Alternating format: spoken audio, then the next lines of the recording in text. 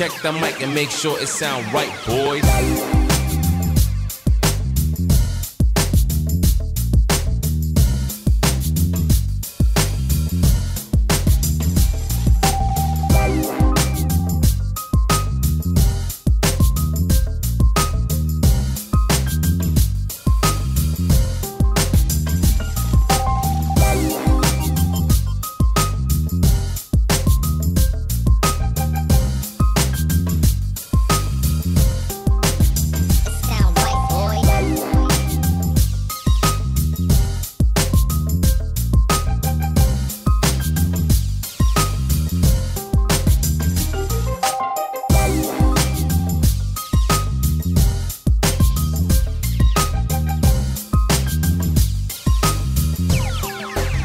Sound right, boys.